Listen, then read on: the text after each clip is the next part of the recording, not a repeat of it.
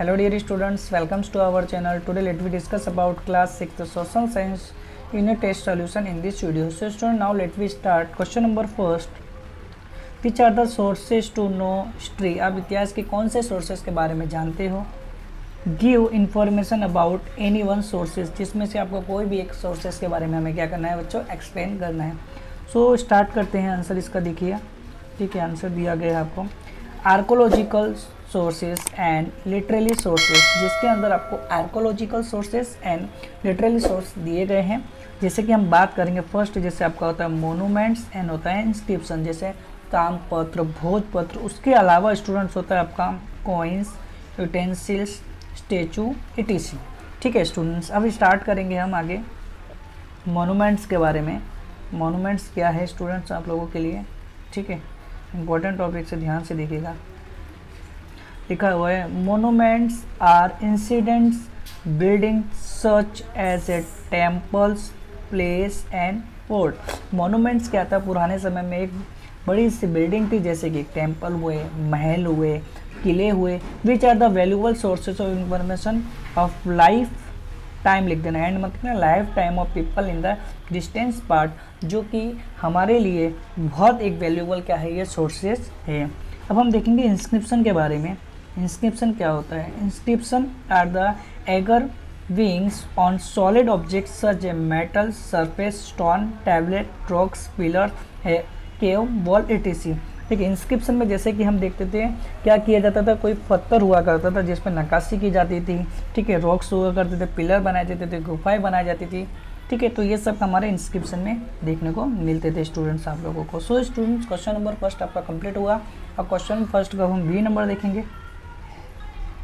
चलिए question start करेंगे question first का बी में। लिखा हुआ है which in the various historical information that we come to know from incident time ठीक है? स्टूडेंट्स अब यहाँ पे लिखा हुआ है पॉइंट्स के बारे में क्या जानते हैं? उसके बारे में जानना है। तो लिखा है the study of coins is known as numismatics numbers gold silvers copper and leads coin have been found आपको पता है, जो कॉइन्स हुए थे तो वो आपको गोल्ड में भी मिलते थे कॉपर में भी मिलते थे लीड में भी मिलते थे, ये सब कॉइन्स हमको फाइंड होते थे। The coins are in the important sources of information about the raising kings of extent of their empire economy student जैसे कि आप लोगों को पता होगा आज की डेट में कि जो कॉइन्स है, हमारे लिए बहुत ज़्यादा इंपॉर्टेंट होते हैं। राजा महाराजा भी पहले सोने के जो सिक्के होते थे, उसका बहुत उपयोग करते थे। चलिए, आगे देखेंगे लिखा हुआ है बच्चों आपका। Economics conditions trade art and religion so that area the metals and alloy use also indicate the level of scientific advantage advancement and prosperity during that age आपको पता होगा जो पैसा ही होता है, जिसके द्वारा हम बेटा कोई भी कंडीशन हो, आपकी इकोनॉमिक कंडीशन हम पे डिपेंड करती है मार्केट डिपेंड करता है कलर डिपेंड करती है, और उसके अलावा भी जो दूसरी चीज़ साइंटिफिक एडवांसमेंट होता है, वो भी उसी पे डिपेंड करती है, जिसकी वजह से आपकी प्रोस्पेरिटी ही संभव है पॉसिबल है स्टूडेंट्स ठीक है?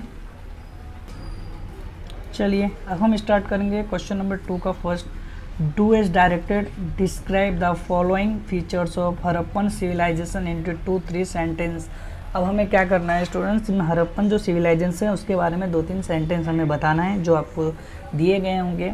तो देखिए, जिसके अंदर सबसे पहले हम बात करने वाले हैं हाउस की। ठीक है बच्चों, किसकी बात करेंगे? हाउस की। तो लिखा हुआ है the houses varied in size some might have had two storey the houses were made of burnt bricks most of the houses had a central courtyard well bathing area and kitchen देखिए बेटा, हरप्पन सभ्यता में आपको पता है, संस्कृति में, house में बहुत सारे अलग अलग साइज़ के घर बनाए गए थे, जो कि अलग अलग क्षेत्र में थे। ठीक है मतलब अलग अलग जगह में बनाए गए थे। द, उसके बाद उसमें ब्रंट ब्रिक्स भी यूज़ की गई थी। मोस्ट ऑफली जो घर थे, उसके उस सेंट्रल कॉर्डियर में बनाए गए थे। ठीक है बाथिंग बनाए गए थे किचन एरिया रखा गया तो ये सब फैसिलिटी हमें हाउस में देखने को मिल रही थी। अब हम बात करेंगे बच्चों स्ट्रीट की। ठीक है इसकी बात करेंगे बच्चों स्ट्रीट की। तो स्ट्रीट के बारे में हम देख लेते हैं पहले। स्ट्रीट्स जो गलियाँ थी, क्या लिखा था? The roads and street intersect at a right angles जो गलियाँ थी, जो सड़कें थी, वो राइट एंगल पे मिलती थी with covered drain along the road ठीक है? फिर लिखा है houses we are built on either side of the roads and street जो कि रोड के आजू बाजू में बनाए गए थे। अब हम आएगा ग्रेट बाथ ठीक है? ग्रेट बाथ के नाम से जाना जाता था, क्योंकि वहाँ का स्नानागार था, बहुत इंपॉर्टेंट था। This was the another important structure Mohenjodaro the floor of the bath and five players it was so water tight that even today it holds water there were changing rooms वहाँ पे अलग अलग changing room भी थे। Peoples probably use during festival and religious ceremony जिसमें अगर कोई त्यौहार होता था, कोई फ़ंक्शन होता था तो वहाँ पे अच्छे से सेलिब्रेट करने के लिए रखा गया था बच्चों। ठीक है? चलिए, अब हम क्वेश्चन आप लोगों का दिखा हुआ है इसके अंदर बच्चों, कि how Lothal was a prosperous spot of incident time क्यों? आपको बताया लोथल जो होता बहुत महान समृद्धि वाला जगह काउंट किया जाता, किला। ठीक है तो हम देखेंगे इसमें answer Lothal was a vital and thriving trade centre in the incident time Lothal जो था, उस समय में बहुत महत्वपूर्ण जगह मानी जाती थी। With a trade of beads, combs, and valuable ornaments reaching the fair corners of West Asia and Africa जिसमें बहुत इंपॉर्टेंट इंपॉर्टेंट और वैल्यूबल ऑर्नामेंट्स लाए गए थे वेस्ट एशिया और अफ्रीका से। The techniques and tools they pioneered for bead making and is मेलेटिकली have stored the test of time for over four thousand year people in village never being to Lothal had known the presence of incident towns and humans remains. उसके बाद लिखा हुआ है बच्चों आगे। ठीक है? Remains Lothal provides with the largest collection of antiquities at the archaeological modern India ठीक है लोथल ने ही हमें क्या प्रोवाइड कराया था? अलग अलग एंटीक्यूटीज के आर्कोलॉजी के साधन जो भी इंडिया में सबसे ज़्यादा इंपॉर्टेंट उस time this essential single culture site the Harappan culture in all variance evidence the people of Lothal made for significant and often unique contribution to human civilisation in the Indus in the fields of city planning, art, architecture, science, engineering, poetry, and religions. Their work of military seals, beads, and jewelry was the basis of their. उन्हें जितना काम किया जाता है उतना उन्हें gold भी दिया। जाता था तो ये चीज़ आपको लोथल के लिए फ़ेमस है इसलिए हमें हमने आपको एक्सप्लेन कर दी है। आप चाहो तो सिर्फ़ इतना लिख के भी इसे फिनिश कर सकते हो ठीक है? क्योंकि बहुत ज़्यादा बड़ा हो गया स्टूडेंट्स हम चाहते हैं तो इतना लिख के हम इसे फिनिश कर सकते हैं इतने टॉपिक से। ठीक है? ऊपर का नहीं आप लिखोगे तब भी हमारा चलेगा। क्लियर बच्चों? आगे का देखिए। चलिए स्टूडेंट क्वेश्चन नंबर थ्री का फ़र्स्ट देखेंगे हम लोग क्या लिखा हुआ है। आंसर द फॉलोइंग क्वेश्चंस में लिखा हुआ है। How was the life of primitive man before the invention of fire मतलब फायर की उपलब्धि मतलब फायर के अचीव होने से पहले हमारे यहाँ की सिचुएशन लोगों की कैसी थी? तो लिखा हुआ है before the invention of fire जब फायर का इन्वेंशन नहीं होता, उससे पहले could not eat cooked food लोग खाना नहीं पका पाते थे।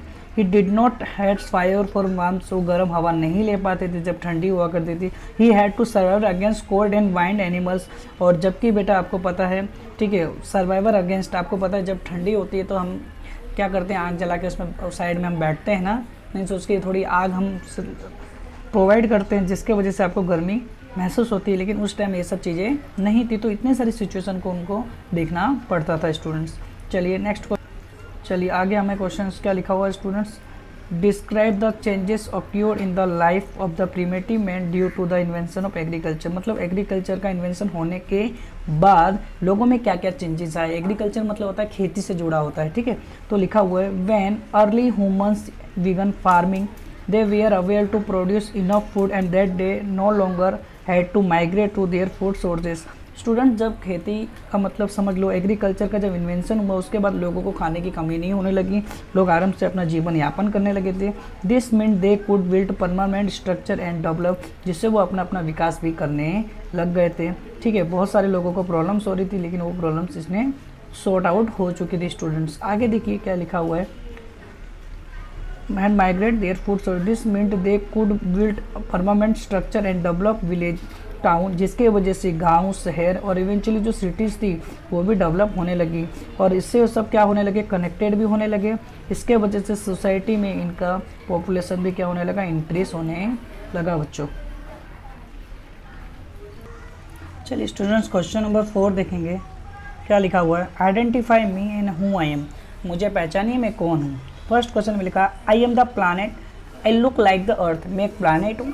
लेकिन दिखता पृथ्वी की तरह हूँ तो हमारा आंसर उसका है स्टूडेंट मार्स ठीक है? सेकंड में लिखा हुआ I am made of the cluster of star तो जिसमें आंसर है आपका गैलेक्सी थर्ड आपको दिया हुआ the planets revolve around me मतलब प्लानट मेरे आसपास घूमते हैं, जैसे कि तो हमारा आंसर आएगा बच्चों सन तो क्वेश्चन नंबर फोर्थ का फ़र्स्ट आपका पूरा हुआ। सेकंड हेडिंग हम देखते हैं बच्चों। ठीक है सेकंड हेडिंग में हमें क्या दिया गया देखिए। लिखा हुआ है answer the following question in one word how long does it take the moon and complete a circle जिसको रिवोल्यूशन बोलते हैं अराउंड द अर्थ पृथ्वी का चक्कर लगाने में उसे कितना टाइम लगता है? तो twenty seven days and seven hours कितना लगता है? Twenty seven days and seven hours which of the star among the sun earth and moon तो जिसका आंसर हमें क्या दिया है बच्चों? मून तो स्टूडेंट्स अगर वीडियो आपको पसंद आ रही है तो वीडियो को लाइक ज़रूर करते जाइएगा। चलिए नेक्स्ट क्वेश्चन देखते हैं बच्चों। कंप्लीट हो जाएगा। और आई होप आपको समझ में आ रहा होगा जो मैं पढ़ा रहा हूँ आपको। ठीक है क्वेश्चन नंबर फाइव के में लिखा फिल इन द ब्लैंक्स ठीक है फ़र्स्ट में लिखा हुआ था आपका क्वेश्चन में बेटा। ठीक है लॉन्गिट्यूड इज़ कॉल्ड तो लॉन्गिट्यूड किसी नाम से जानी तो प्राइम मेरेडियन के नाम से जानी जाती है स्टूडेंट सेकेंड क्वेश्चन में लिखा है the international date line is located on days longitude तो कितने में काउंट किया जाता है स्टूडेंट्स 180 पे।